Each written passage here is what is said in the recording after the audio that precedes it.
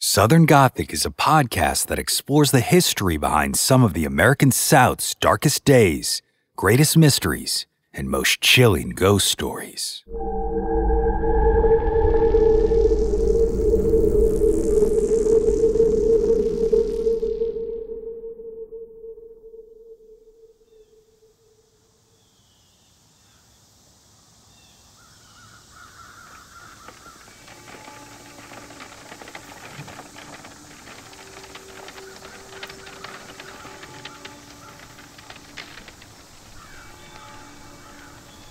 Funeral of William Eddings Baynard was the largest that Hilton Head Island had ever seen. The affluent planter from nearby Edisto Island had passed away on May 2, 1849, and due to he and his family's prominence and success, wealthy plantation owners from all over came to Hilton Head to mourn his passing. The funeral procession began at Braddock's Point Plantation, where Baynard had passed. It then weaved through the live oak and pine tree lined roads of the island's maritime forest. At the front was a black draped wagon hearse carrying Baynard's body, and it was followed by the family's formal black carriage with his widow and children inside. Mourning relatives joined the funeral cortege as well, and enslaved men and women from all over the island gathered to watch the procession as they had been given this one day off in honor of the deceased. Upon arrival at the Zion Chapel of Ease, a pregnant Mrs. Baynard was escorted by William's brother Ephraim to the front pew, along with her seven children. The old wooden church was a mere 30 by 40 feet in size, so was likely a tight fit for those present at the services. But when it finally came time to inter the beloved father in the cemetery outside, it was clear that his final resting place was fit for a king. A beautiful redstone mausoleum capable of holding 20 souls. A mausoleum that remains to this very day, almost two centuries later, the oldest surviving structure on Hilton Head Island.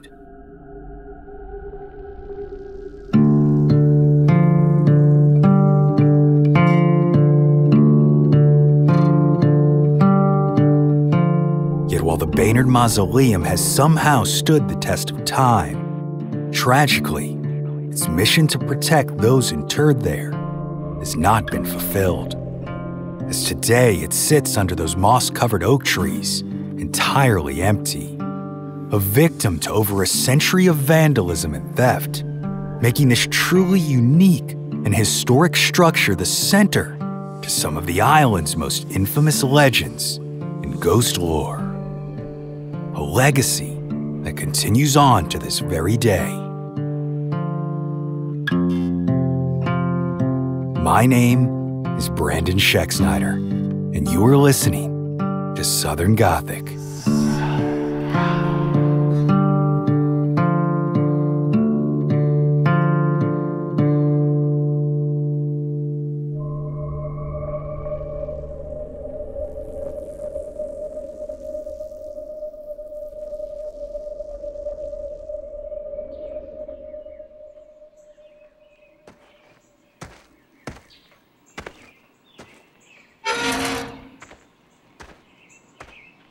The Zion Chapel of Ease is no longer around, but its historic cemetery is still home to the graves of numerous Hilton Head planters, Revolutionary War veterans, and of course, the Baynard Family Mausoleum. This tomb was unlike anything seen on the island before. The walls of the Greek Revival style mausoleum were constructed with brownstone and bluestone that was quarried in the north and shipped to Hilton Head by barge. Carolina redstone was then used for the facade, giving the gabled mausoleum its unique red hue. The roof is limestone, and originally the entrance boasted two marble doors that unfortunately are no longer there. On either side of the entrance are upside down torches made of marble, carvings meant to signify a life cut short and above the door is the inscription integrity, and uprightness. An iron fence fixed in granite posts surrounds the mausoleum, but in reality, it has done little to protect the tomb from vandals and grave robbers. And as a result, legend says that it is now a hotbed for ghostly activity due to the supposed tragedy that William Baynard endured. A sad tale that has been passed down through the ages. According to local lore, the affluent planter acquired nearby Braddock's Point Plantation in a high stakes game of poker with Saucy Jack Stoney, another large property owner on the island. Fortunately, this was just in time for Baynard's upcoming wedding to Catherine Adelaide Scott. And as you can imagine, his soon to be bride was thrilled by this news. After all, she now had her own mansion to serve as the site of a grand wedding reception. So on the day of their union, after they said their adieus at the local Zion Chapel of Ease, the pair were taken back to Braddock's Point in a magnificent black carriage with an elegant gold colored interior. Beaming with pride and excitement, the newlyweds entered their new home and began celebrating the beginning of the rest of their lives. The reception began as expected. Music and laughter echoed through the halls, and folks joyously danced the evening away. But then, after the sun had begun to set, William noticed that Catherine felt awful warm. At first, he didn't think much of it, as they were dancing and celebrating. But eventually, Catherine began sweating profusely, and her face now had a deep scarlet hue. Believing that his bride was merely overexerting herself on the dance floor, William attempted to take her to rest in a nearby chair, but it was already too late. The couple had not moved but a few steps before Catherine collapsed. Shocked by the sight, wedding guests rushed forward to help, but William shooed them away, immediately scooping up his trembling bride from the floor and carrying her back to their bedroom. A doctor was hastily summoned, but the prognosis was clear from the very start. Catherine had contracted a deadly fever, and much to the horror of her new husband, absolutely nothing could be done for her but sit and wait.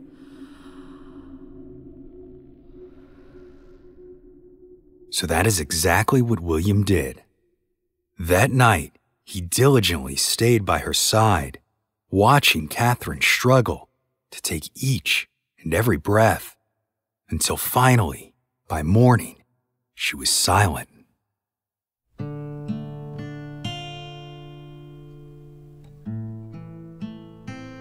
William was overcome with anguish. What was to be the greatest moment of his life had now turned into the most traumatic. So the grief stricken widower decided that there was only one thing left that he could do for his bride build her an exquisite place of rest that was not only worthy of her beauty, but also grand enough to convey the depths of his loss. The result was that now historic Carolina red brick tomb in the Zion Chapel of Ease Cemetery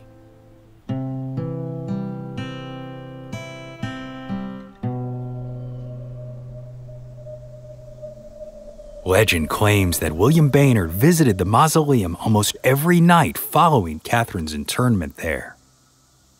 He was sometimes seen sobbing violently, and others sitting silently with his shoulders drooped and his head buried in his hands.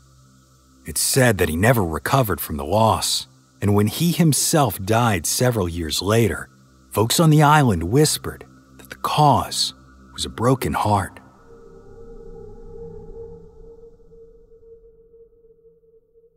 Yet the couple did not have an easy rest inside that exquisite monument, as it soon became the target for grave robbers following the conclusion of the Civil War.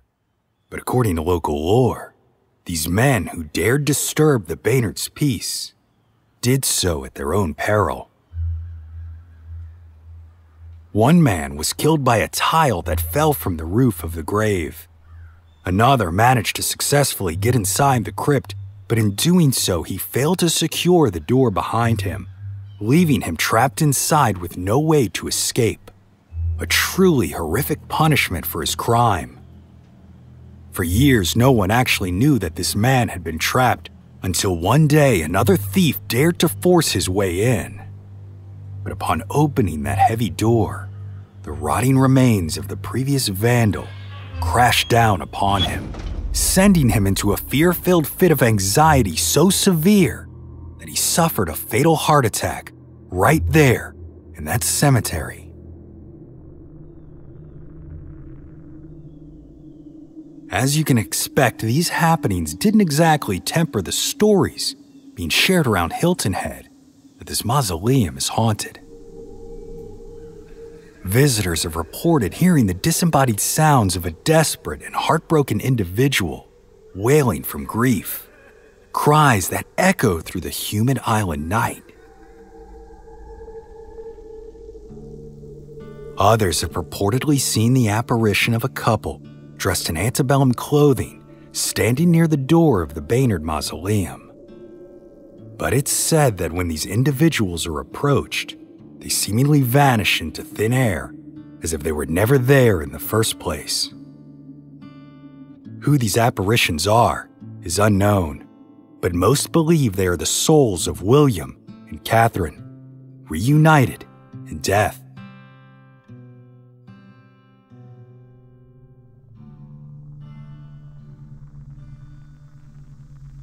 Of course, with a legacy that looms as large as William Baynard's, these aren't the only places where people claim to have encountered his spirit. What was once Baynard's Grand Mansion on Braddock's Point Plantation is now known as the Stoney Baynard Ruins.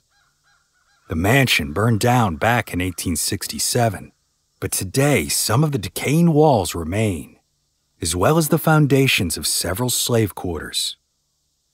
The short trail that leads visitors to the site from Plantation Drive has been deemed by some to be the quote, creepiest hike in South Carolina.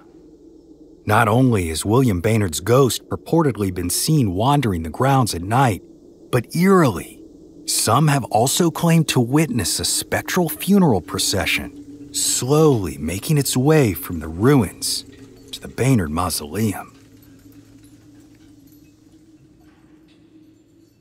Yet who this ghostly funeral procession is for is up for debate. Because if you didn't notice, the legend that I told you about the tragic death of a bride on her wedding day doesn't quite add up to the description of William's funeral that I opened with in this episode.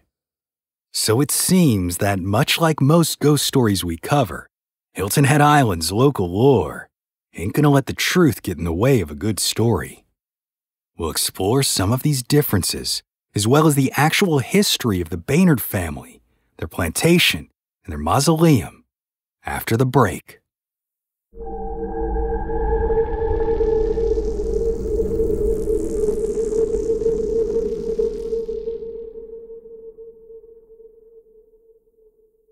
This week's episode of Southern Gothic is sponsored by HelloFresh, America's number one meal kit. With HelloFresh, you get farm fresh, pre portioned ingredients and seasonal recipes delivered right to your doorstep, so you can skip trips to the grocery store and count on HelloFresh to make home cooking easy, fun, and affordable. But y'all, if you really want to know why I personally use this meal kit, no joke, it's because this is the one that my kids actually like. And since every week I get to pick from 40 recipes that vary from all sorts of different preferences, sometimes I actually even get to introduce a little variety into their diet as well. I mean, you parents know what that's like, right? But not only have we been able to get some pretty classic meals like meatloaf and pork chops with mashed potatoes, but them enjoying those meals from HelloFresh has actually led them to trust me enough that the other night I put some goat cheese chicken on the table. And y'all, I didn't hear a single complaint. Obviously, this has been absolutely wonderful. It's given me the opportunity to try new stuff without the hassle of finding new recipes and heading to the grocery store looking for ingredients and doing that whole mess when honestly, sometimes I am just swamped with trying to get this darn podcast out. So, if you are interested in trying out America's number one meal kit, then go to HelloFresh.com slash Gothic60 and use the code Gothic60 for 60% off plus free shipping. You heard that right. 60% off plus free shipping. All you got to do is go to HelloFresh.com slash Gothic60 and use code Gothic60. What are y'all waiting for? Go feed them kids.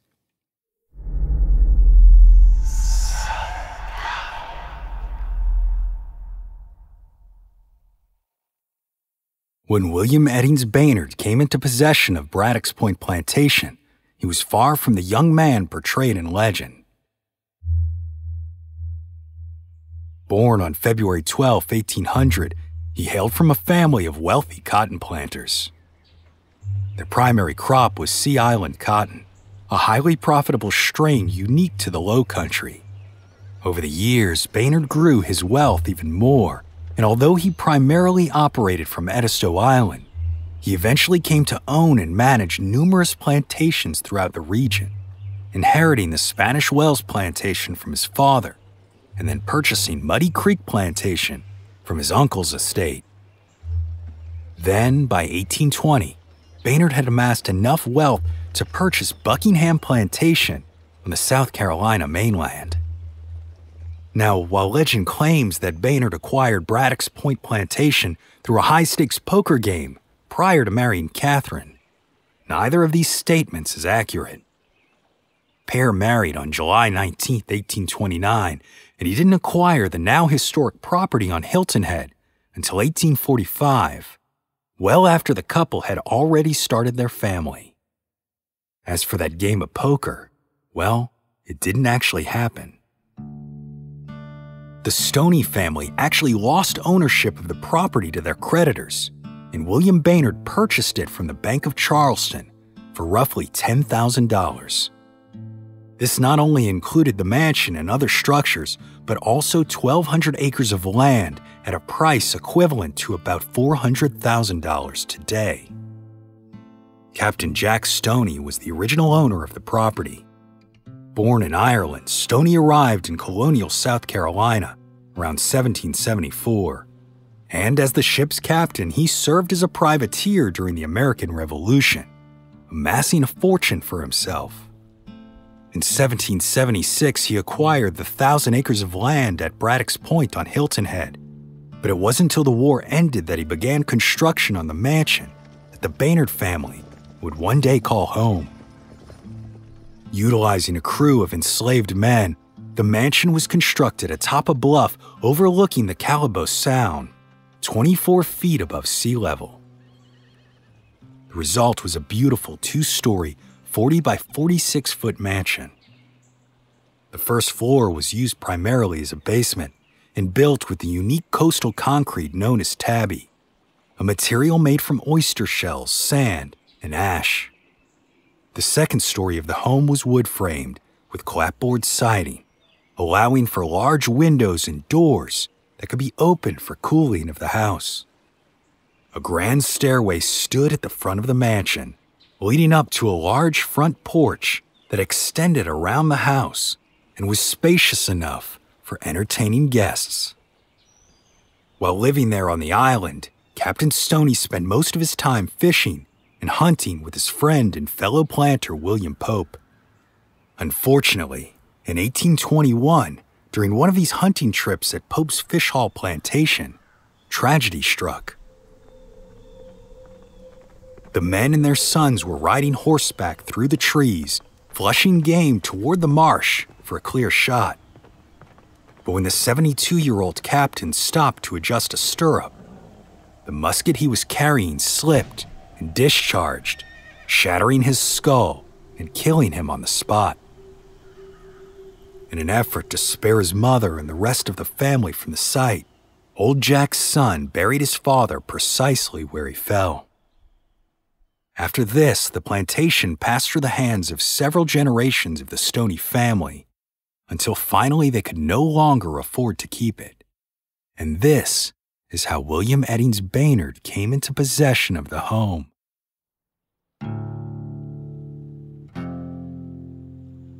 Until this time, Baynard and his family lived primarily on Edisto Island. But it seems that after this purchase on Hilton Head, he and his wife planned to make the island their permanent home. As the following year, in 1846, construction began on that now infamous family mausoleum. Interestingly enough, though, this construction doesn't seem to have been the result of a family tragedy, as the legend suggests. That being said, the mausoleum was in fact the most impressive tomb seen on Hilton Head at the time, boasting space for up to 20 people. But once again, contrary to the legend, it wasn't Catherine to be interred there first, but rather William Baynard himself. He died on May 2, 1849, likely the result of yellow fever. He was survived by Catherine, seven children, and an eighth who would be born only months after his death. Baynard was 49 years old at the time. Catherine joined her beloved only six years later, on May 29, 1854. She was only 41. Then, over the next few years leading up to the Civil War, there were at least five more internments in the mausoleum. But in November of 1861, as United States forces invaded the island, the Baynard family and other wealthy landowners fled Hilton Head for the safety of the mainland.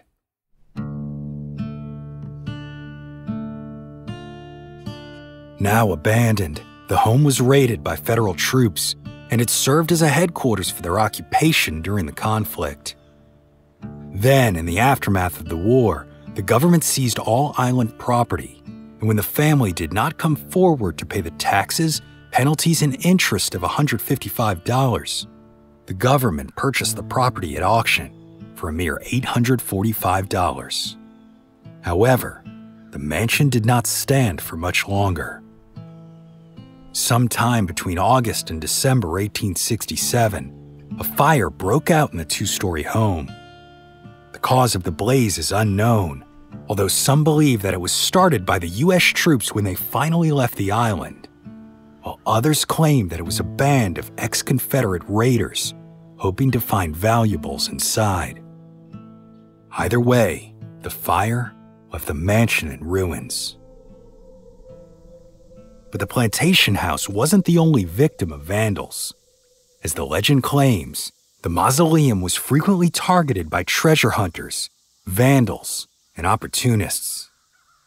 It's unknown when this first occurred, although it likely began during the Civil War. Evidence of this comes from Reverend John Jenkins Stoney, who returned to the Zion Chapel in 1869, hoping to resume services there. But instead, he found that the chapel had been ransacked and all of its contents gone. Reverend Stoney didn't mention the condition of the cemetery, but a newspaper article from 1929 stated that a number of Hilton Head locals believed that at least one or two of the family members interred there were, quote, despoiled during the Confederate War by soldiers looking for treasure. This is, of course, a secondhand report, but given the state that Reverend Stoney found the chapel to be in, it does seem quite plausible. A 1901 article from the Columbia, South Carolina newspaper, The State, offers the most intriguing tale of them all. It reports that a physician was traveling on horseback when he noticed something strange at the cemetery. As he drew closer, he found that the quote, doors of the mausoleum were broken and hanging from their hinges. Intrigued, he decided to investigate further, and what he discovered was a scene of utter chaos. Seven coffins, quote, strewn about the grounds and into the marsh. Five of them were made of wood, while the other two were iron, known as Fisk burial cases. These special coffins were reserved for the wealthy and featured a glass window through which the face of the deceased could be seen. But what really caught the physician's attention was that one of the iron coffins was cracked open. Looking through the glass faceplate, he saw the quote, long blonde hair of a woman who must have been a beauty in life. So intrigued and clearly a brave man, he then reached through the crack to feel her skin, which he found to be, quote, as supple as though she had been buried the day before. If this was in fact Catherine Baynard, as one would assume by the description, about a half of a century would have passed between her burial and the physician's encounter with her remains. The article pointed out that Fisk burial cases were in fact designed to be airtight and preserve human remains, so this eerie discovery might very well be entirely true. Sadly, though, the wooden coffins did not fare as well. When the physician looked inside, he saw only, quote, a most gruesome dust. On May 29, 1927, another reference to vandalism was published in the state. It said, quote, One marble door on hinges still hangs and works perfectly. The other has been broken away. Within are 20 sections for receiving coffins, and six of these are occupied. Two of the coffins are of cast iron, formed to hold snugly the bodies of their dead, but time has done its work, and the bottoms of these coffins have rusted away and are now convenient places for rats to build their nests among the bones of the departed. The other coffins are all of heart pine, and except for having been broken open by vandals in search of jewelry, are still in good condition. On the floor of the vault is a coffin containing bones and some scraps of clothing. These conditions weren't bad enough, the skull was missing from the open coffin and later found, quote, outside the garden fence. Given its size, it was assumed that this was the skull of a woman.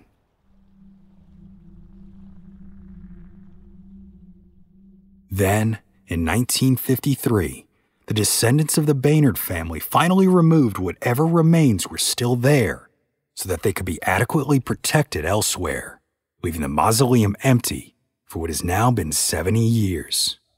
Although, in recent excavations done by the University of South Carolina, artifacts like jewelry and human bones were found still inside the monument, including vertebrae, ribs, a hip bone, and a sternum.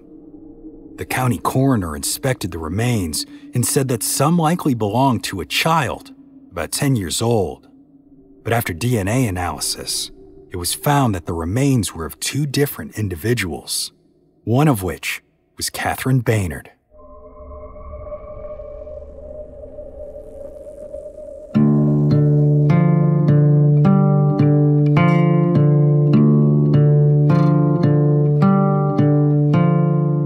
In 2018, restoration work began on the Baynard Mausoleum, an attempt to restore and preserve the island's oldest surviving structure future.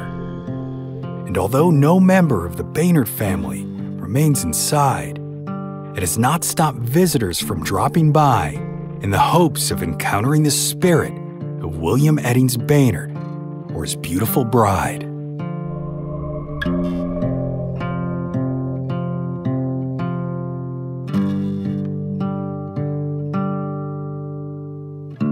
My name is Brandon Schexnayder, and you are listening to Southern Gothic.